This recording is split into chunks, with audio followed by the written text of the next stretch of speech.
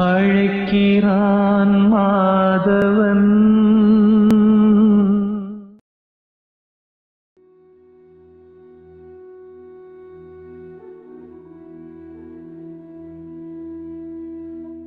ஆஹ் ஐயா என்னோட நன்றியை நான் வந்து கண்டிப்பாக தெரிவிச்சுக்கணும் உங்களுக்கு. ஏன்னா அந்த இருபத்தி ஒரு நாள் பிரம்ம முகூர்த்தம் கிளாஸில் நானும் கலந்துக்கிட்டேன் பேட்ச் ஒன் நானும் கலந்துக்கிட்டேன் ஸோ உண்மையிலுமே வார்த்தையே இல்லை. என்ன சொல்கிறது அப்படின்னு எனக்கு உண்மையிலுமே தெரியல. சிரித்த நாள்கள் பல நாள் அப்படின்னும் போது அழுத நாள்களும் பல நாள் இருக்குது அந்த மாதிரி இந்த பிரம்ம முகூர்த்தம் கிளாஸ்க்கு வந்ததுக்கப்புறம் நியூட்ரலாக ஆனதை என்னால் ஃபீல் பண்ண முடியுது.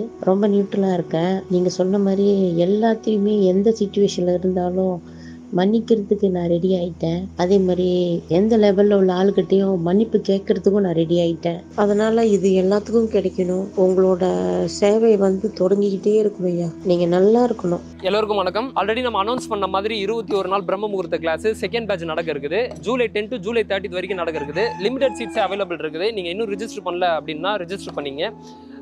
ஃபர்ஸ்ட் பேட்சோட ஃபீட்பேக்ஸ் எல்லாமே நீங்கள் தெரிஞ்சுக்கணும்னு பார்க்கணும் அப்படின்னு சொல்லி ஆசைப்பட்டீங்கன்னா W W W dot AM souls dot காம்குள்ள நீங்கள் போய் செக் பண்ணிங்கன்னா ஆடியோ ஃபீட்பேக்ஸும் இருக்குது ஸ்க்ரீன்ஷாட்ஸும் இருக்குது. ஸோ நீங்கள் பார்த்து தெரிஞ்சுக்கலாம். இப்போ நம்ம எங்கே இருக்கோம் அப்படின்னு சொல்லி பார்த்தீங்கன்னா காசியில் தான் இருக்கும். நீங்கள் பின்னாடி இந்த பேக்ரவுண்டை பார்க்கும்போதே தெரியும். ஒரு ஒரு நேம் இருக்குது ஒரு ஒரு காட் நேம் இருக்குது. ஹரிச்சந்திரா காட் இருக்குது. அந்த மாதிரி ஒரு ஒரு நேம் இருக்குது இங்கே தான் சில விஷயங்கள் உங்களுக்கு சொல்லணும் அப்படின்னு சொல்லி ஆசைப்பட்றேன்.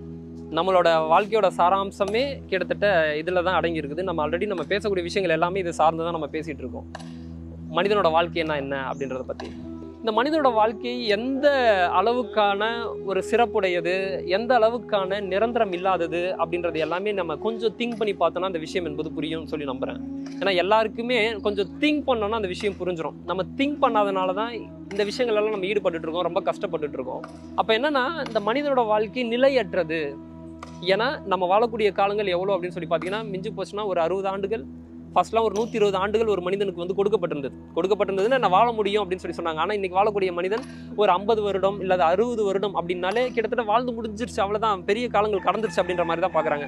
ஆனால் அறுபது வயசுலாம் வந்து கிட்டத்தட்ட பாதி தான் மனிதனோட வாழ்க்கையோட பாதி தான் அப்படின்னு சொல்லி சொல்கிறாங்க அப்போ அப்படி இருக்கும்போதே இந்த அறுபது ஆண்டுகள் நம்மளுக்கு ரொம்ப பெருசாக தெரியும் அந்த பிரபஞ்சத்துக்கு இப்படின்றதுக்குள்ளே முடிஞ்சிருது. அப்போ நீங்கள் இங்கே பார்க்கும்போதே தெரியும் டெட் பாடி கொண்டு வராங்க எரிக்கிறாங்க. இதே மாதிரி தான் நம்மளும் ஒரு நாள் இந்த விஷயத்துக்குள்ளே போக தான் போகிறோன்றது எல்லாருக்குமே தெரிஞ்ச ஒன்று தான் ஆனால் இதை மனம் ஏற்க மறுக்கிறது அப்படின்றதான் ஒரு உண்மையான விஷயம். அதான் ஒரு படத்தில் கூட ஹரிச்சந்திரா மூவியில் கூட இந்த லைன் வரும். மாடு உண்டு கன்று உண்டு மக்கள் உண்டு என்று மகிழ்ந்திருந்த மனிதா விம்மி அழுத மனையால் வீதியோடு நின்று விட்டாள். சுமந்து வந்த சுற்றமும் சுடலையோடு திரும்பி விட்டார். இப்பொழுது உனக்கு ஊர் எங்கே? பெயர் எங்கே? பெரிய தனம் எங்கே? நீ வெறும் எரிந்து விட்ட சாம்பல் அப்படின்னு சொல்லி சொல்லுவாங்க. மாடுண்டு கன்றுண்டு மக்கள் உண்டென்று மகிழ்ந்திருந்த மனிதா விம்மி அழுத மனையாள் வீதியோடு நின்று விட்டாள். சுமந்து வந்த சுற்றம் சுடலையோடு திரும்பி விட்டார். இப்போது உனக்கு பேரெங்கே பெரிய தனமெங்கே ஊரெங்கே உறவெங்கே நீ எரிந்து விட்ட சாம்பல். இந்த ஒரு லைன் புரிஞ்சுது அப்படின்னா மனிதன் தவறுகள் அப்படின்றத ஒரு விஷயம் பண்ண மாட்டான்.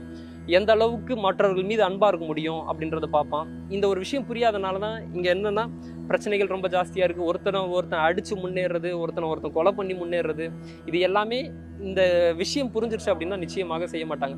பட்டினத்தாரோட பாடல் கூட உண்டு. என்னன்னா ஒரு மடமாது ஒருவனுமாகி இன்ப சுகம் தரும் அன்பு பொருந்தி உணர்வு கலங்கி ஒழுகிய விந்து அப்படின்னு சொல்லி சொல்றாங்க இல்லையா? ஸோ அந்த பாடலை நீங்க கேட்டீங்கன்னா கூட மனிதனோட பிறப்பு எங்க ஆரம்பிச்சு எப்படி முடியுது அப்படின்ற அந்த பட்டினத்தாரோட பாடல்ல இருக்கும். மனிதனோட வாழ்க்கை இவ்வளவுதான் அப்படின்றது புரிஞ்சிடும். ரொம்ப ரொம்ப சிம்பிளா முடிஞ்சிருச்சு பாருங்க. எத்தனை பேர் இங்க வந்திருக்காங்க எரிக்கிறதுக்கு இன்னும் ஒரு நாலு பேர் அஞ்சு பேர் வந்திருப்பாங்களா? போயிட்டு கங்கையில் போயிட்டு கழுவிட்டு திரும்ப எடுத்துகிட்டு வந்து எரிக்கிறாங்க. எரிச்சிட்டு அவங்க பாட்டு கலையும் போக அதுக்கப்புறம் அதுக்கான செயல்கள் அடுத்தடுத்த வருஷத்தில் திதி கொடுக்குறது எல்லாமே அடுத்தடுத்த வருஷத்தில் நடக்க போகுது. என்னன்னா அவங்கள மறக்காமல் இருக்கும் அப்படின்ற ஒரு விஷயம் தான். ஆனால் இங்கே நீங்கள் இருக்கீங்களான்னா கிடையாது. அப்போ இப்படிப்பட்ட ஒரு வாழ்க்கையில் எப்படி வாழணும் அப்படின்னு சொல்லிட்டு கொஞ்சம் நீங்கள் திங்க் பண்ணி அறிவை கொஞ்சம் பயன்படுத்தி யோசிச்சு பாருங்கள் இந்த லைஃப்னா என்ன? நான்றது இங்கே என்ன இருக்குது? இங்கே நான் எதை அனுபவிக்கிறேன்? இந்த உலகம் என்பது அப்போ ஒரு பொய்யா? அப்படின்றதெல்லாம் கொஞ்சம் திங்க் பண்ணி பார்த்தீங்கன்னா இந்த மனிதனோட வாழ்க்கையை பற்றியும் இந்த பிரபஞ்சத்தை பற்றியும் புரியும். ஸோ அதுக்கப்புறம் உங்களோட லைஃப் ஹாப்பியாக தான் நீங்கள் லீட் பண்ணுவீங்க. ஸோ அந்த விஷயம் புரிஞ்சிருக்கும் அப்படின்னு சொல்லி நம்புகிறேன் அடுத்த வீடியோவில் சந்திப்போம். நன்றி.